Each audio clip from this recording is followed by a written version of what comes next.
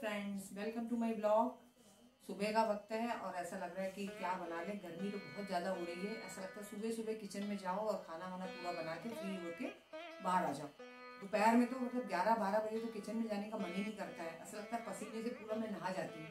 इतनी ज़्यादा गर्मी हो रही है, बहुत ही ज़्यादा अबव फोर्टी डिग्री चल रहा है यहाँ पे एम पी आप सोचिए। कितनी हालत, बहुत ही मतलब कपड़े डालती हूँ मैं, एक घंटे में देखती हूँ कपड़े बिल्कुल ऐसे हो जाते हैं, मुरझा जाते हैं सूख के तो फिर इंसानों का क्या होना? जब कपड़ों की हालत है तो। बिल्कुल धूप में जाने की हिम्मत नहीं होती है। घर के अंदर बढ़िया रहो, मस्त रहो, बहुत ज़्यादा इमरजेंसी है तो आप लोग जाओ। है ना? मैं तो यही कहूँगी क्योंकि अभी तो बहुत समर में तो अभी पीक में चल रहा है समझ लीजिए जैसे ठंड एकदम पीक में रहता है ना तो ऐसे समर अभी बहुत ही गर्मी, बहुत ज़्यादा पीक में। तो बस ऐसा लगता है कूलर के नीचे बैठे रहो एसी के नीचे बैठे रहो फुल टाइम फुल टाइम और कोई खाना बना बना के ला के हमको देते रहे। हम लोग खाते रहे बैठ के। और ज़्यादा मतलब खाने से ज़्यादा ये लगता है कि कुछ ना कुछ पिए ड्रिंक ड्रिंक का ज़्यादा लगता है मेरे को। कोल्ड ड्रिंक वगैरह जो होता है ना, वो है आइसक्रीम है ठंडी ठंडी चीज़ें खाते रहो, बस वो चीज़ ज़्यादा मन करता है। बाकी खाने तो इतना है नहीं, ऐसा लगता है पानी पीते रहो, आम पना पी लो, शिकंजी पी लो मतलब इस टाइप का कुछ ना कुछ खाने की मतलब पीने की इच्छा होगी तो चलिए फ्रेंड्स किचन में चलते हैं और आज मैं देखती हूँ क्या क्या बनाऊँगी। अब मैं आ गई किचन में। कद्दू काट के रख लिया था मैंने, अजवाइन, और इसमें डाला है मेथी। बस इसी से भगारूँगी दो चीज़ से, हरी मिर्ची और मीठी नीम मैंने अलग से काट के रख लिया था। मीठी नीम ज़रूर मैं डालती हूँ कद्दू की सब्ज़ी में, बहुत अलग से एक टेस्ट आता है और मीठी नीम का फ्लेवर भी आ जाता है इसमें। बस थोड़ा सा कद्दू डाला है और इसी में हल्दी मिर्ची जो भी डालना है, मसाले, धनिया वगैरह सब डाल के, फिर बाकी कद्दू भी पलट लूँगी। और लास्ट में बस नमक तो डालते ही हैं एज़ यूजल ढक के पकाते हैं, मुश्किल से दस मिनट भी नहीं लगता है, समझ लीजिए। अगर फ्रेश कद्दू है तो बहुत जल्दी पक जाता है। और मुझे तो लौकी से ज़्यादा कद्दू का टेस्ट ज़्यादा अच्छा आता है, क्योंकि हल्की सी मिठास भी रहती है उसमें और टेस्ट बहुत अच्छा आता है। आप लोग ज़रूर बताइए, आपको क्या पसंद है? लौकी पसंद है कि कद्दू पसंद है? दोनों ही फ़ायदा करता है। लौकी अपनी जगह, कद्दू अपनी जगह। बाहर कुछ काम चल रहा है तो कितनी आवाज़ आ रही है, देखिए friends. Sorry for the disturbance रोडें खोद रहे हैं इन लोग, पता नहीं क्यों खोद रहे हैं, कौन सा गैस पाइपलाइन जाना है, क्या जाना है। तो पूरी रोड अच्छी खासी रोड है ना, बस उसको खोद खोद के ख़राब कर रहे हैं बस ये लोग। बस कद्दू की सब्ज़ी बन गई है और बहुत जल्दी भी बन जाती है। मिर्ची मैंने धूप में रख दी थी मैं सोची थोड़ा सा धूप दिखा देंगे और उसके बाद इसको मिक्सी में पीसेंगे तो एकदम क्रिस्पी पिस जाएगा। और आज मैं बनाऊँगी कस्टर्ड। केला ही रखा था, बाकी फ्रूट्स तो नहीं है, पर केला डाल के ही बना लूँगी मैं। अच्छा लगेगा, थोड़ा सा चेंज हो जाएगा, कुछ मीठा वीठा पहले सोची खीर बनाऊँगी, फिर बाद में मैंने सोचा नहीं, पहले कस्टर्ड ही बना लेते हैं, खीर तो कल परसों बन जाएगा। तो बस वो बनाऊँगी और रसम बनाऊँगी, और साथ में चावल, दलिया दोनों बनाऊँगी, जिसको चावल खाना है, जिसको दलिया खाना है, और एज़ यूजल थोड़ा सा पापड़ तल लूँगी। खाने के तो इतने आइटम्स हैं, जितना बनाना हो बना लो। गर्मी में बस खड़े होकर बनाने में हिम्मत चाहिए। और अब तो इतनी ज़्यादा गर्मी हो रही है ना कि ऐसा लगता है पसीना नहा के तुरंत निकलो और किचन में आओ ना तो भी ऐसा लगता है पसीने से नहा रहे हैं। तीन तीन बार नहा रही हूँ मैं, उसके बाद भी ऐसा लग रहा है कि मतलब कहीं बाहर निकलना है तो नहाती हूँ, बाहर से आके फिर तुरंत नहाती हूँ। ये हाल हो रहा है अभी तो मेरा। वैसे तो जाती नहीं हूँ, बहुत ज़्यादा इमरजेंसी है, कुछ लेना है तभी नहाती हूँ। और कस्टर्ड बनाऊँगी तो उसमें मैंने थोड़ा सा एक डेढ़ चम्मच कस्टर्ड पाउडर ले लिया था और दूध को अच्छे से खोला लिया था, क्योंकि वैसे ही पतला दूध देते हैं इन लोग। तो बोलते ज़रूर हैं कि एक बूंद पानी नहीं मिलाते, पर पानी तो अच्छा खासा मिलता ही है, इन लोग मिलाते ही हैं। तो बस उसको थोड़ा सा गाढ़ा कर लिया मैंने, शक्कर डाल के। उसके बाद इसमें पानी या दूध जो भी मिलाना हो हमको मिला के, ये भी बस उसमें मिला लेते हैं। बहुत जल्दी बन भी जाता है, खीर बनने में तो टाइम लगता है, पर कस्टर्ड काफ़ी जल्दी बन जाता है। तो मैंने वही सोचा कि कस्टर्ड ही बना लेते हैं। और एप्पल वगैरह होता ना तो और अच्छा लगता पर खाली केला था तो मैंने कहा चलो केला ही डाल के बना लेंगे कुछ नहीं है।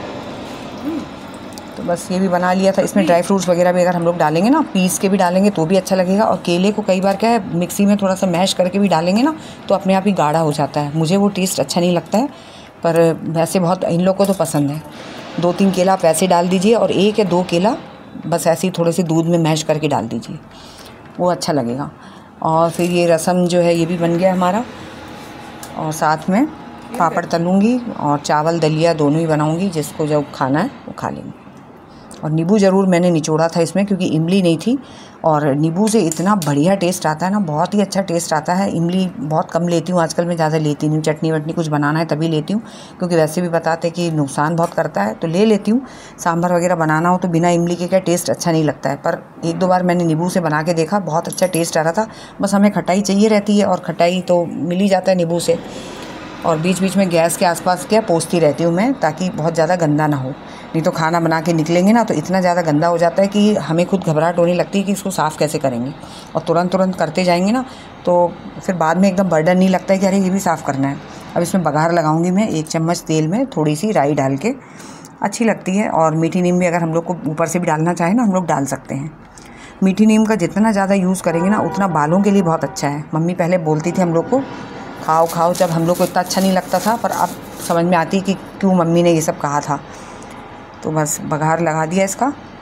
और ये चावल के साथ तो बहुत ही बेस्ट लगेगा और सूप जैसे भी आप लोग पी सकते हैं। हमारे यहाँ इनको सूप जैसे मैं देती हूँ। बहुत अच्छा लगता है, इनको पीने में ज़्यादा अच्छा लगता है। खाते तो इनको बोलते हैं, इतना पतला है, तुम लोग खाते कैसे हो? तो खाने में इनको मज़ा नहीं आता है। तो सब कुछ बन गया था, बस केला मैंने रख लिया था और अच्छे से ये ठंडा कर लिया था। ठंडा करने के बाद मैंने कहा केला काट के इसमें डाल देंगे। तो लास्ट में केला डालती हूँ, नहीं तो काले पड़ जाते हैं। तो एकदम जब ठंडा हो जाता है बिल्कुल, उसके बाद केले डालिए और आप लोग तुरंत इसको खा सकते हैं। अच्छा लगता है। वैसे तो ड्राई फ्रूट्स भी अगर हम लोग इसमें डाल के खाएँ ना, वो भी अच्छा लगता है और दूध में थोड़ा सा ड्राई फ्रूट्स पीस के थोड़ा सा उसका पेस्ट बना के भी मिक्स करेंगे ना तो भी अच्छा लगता है। टेस्ट तो देखिए हम लोग के हाथ में है, जैसे हम लोग को करना चाहें हम लोग करके उसको खा सकते हैं। तो दो केले मैंने डाल रही हूँ, ज़्यादा नहीं डाल रही, क्योंकि दूध भी जिस हिसाब से आधा किलो के करीब दूध है ना तो उसी के हिसाब से। नहीं तो फ्रूट्स ही फ्रूट्स दिखेगा, कस्टर्ड तो दिखेगा ही नहीं। तो मैंने कहा, चलो, यही डाल लेते हैं। खाना बना के रख दो तो एकदम फ्री लगने लगता है फिर। एकदम से हमें ये नहीं लगता है कि ये बनाना है, वो बनाना है, खड़बड़ी नहीं लगती है। और खाना नहीं बनाना तो फिर लगता है, अरे, ये कैसे बनाएँगे, वो कैसे, इसमें इतना टाइम लगेगा, उसमें इतना टाइम लगेगा। और ये सब होने के बाद मैंने थोड़े से पापड़ भी तल लिए थे और पूड़ी बनाई थी। क्योंकि फास्ट के दिन कच्चा खाना तो खा नहीं सकते हैं। पूड़ी या पराठा ही खाना पड़ता है। तो पराठा तो दो बार से खा रही थी, अब आज पता नहीं क्यों मन नहीं कर रहा था। मैंने कहा चलो पूड़ी बना लेते हैं। अब तो ऐसा लगता है शॉर्टकट जल्दी वाला जो बन जाएगा ना, बस वही बना लो। पता नहीं क्यों ऐसा लगने लगा कुछ दिनों से, जब से गर्मी बहुत ज़्यादा हो गई है। तो फटाफट तेल गरम था ही, मैंने कहा थोड़ा पापड़ निकाल लेते हैं, फ्राइम्स वगैरह जो भी है। और बाकी फिर पूड़ी बना लेंगे। सैलेड आज काटा नहीं, जबकि सब कुछ रखा है यहीं पे। फिर भी काटा नहीं। मैंने कहा चलो रहने दो। और अचार तो रखा ही हुआ है। कैरी का अचार मैं टेम्प्रेरी वाला बना लेती हूँ। परमानेंट अचार ज़्यादा आजकल बनाती नहीं हूँ। एक आध किलो बना लिया, वही बहुत है, क्योंकि इतना ज़्यादा आप खाते भी नहीं कोई। इंटरेस्ट पहले बहुत ज़्यादा था सबको। ये तो वैसे भी शुरू से ही कम खाते हैं। और बच्चे भी ज़्यादा खाते नहीं थे। मुझे ज़रूर बहुत ज़्यादा शौक था अचार का। पर अब मेरा भी मन नहीं करता ज़्यादा तो एक आध किलो डाल लो ना, वो भी काफ़ी दिनों तक चलते रहते हैं। तो क्या टेम्प्रेरी वाला दो चार बार अच्छे से खा लेते हैं? उसके बाद फिर इतना मन नहीं करता है। तब भी अगर डालना हो तो जून में या जुलाई में बना लेती हूँ मैं। ये पूड़ी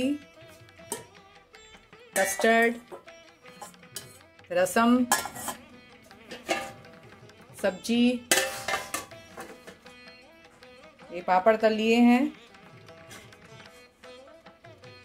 यह भी बना लिया है। ये लगा दी थाली।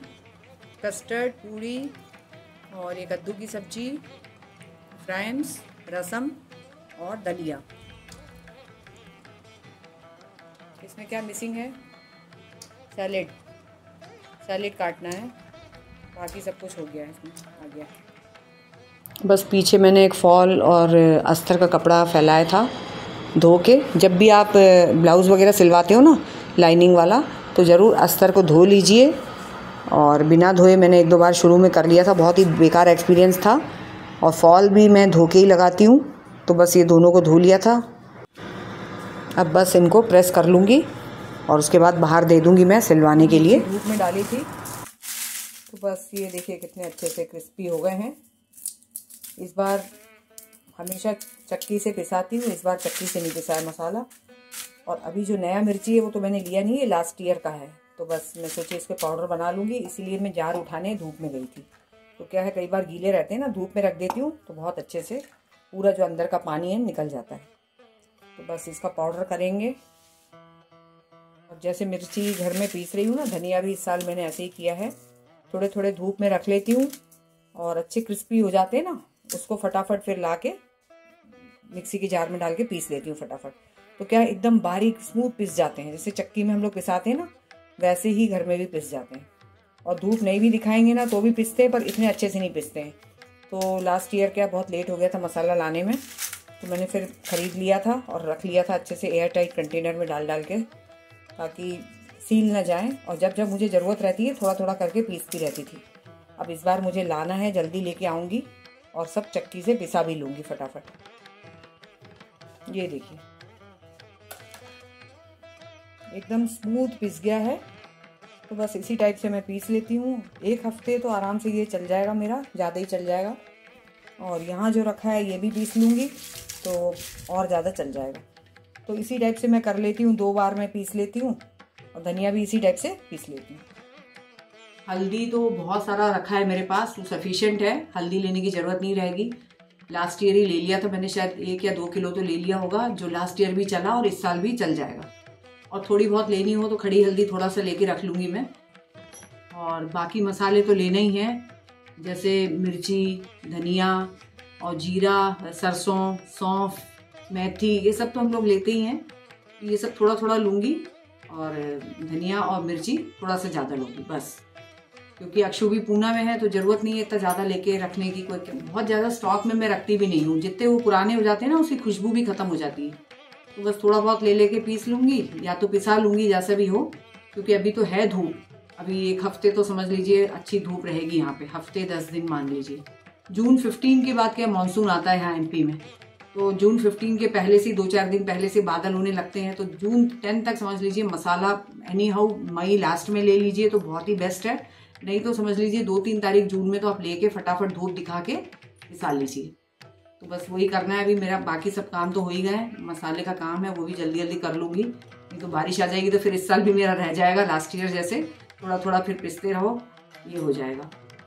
Okay friends take care bye bye see you soon जल्दी मिलती हूँ नेक्स्ट वीडियो में।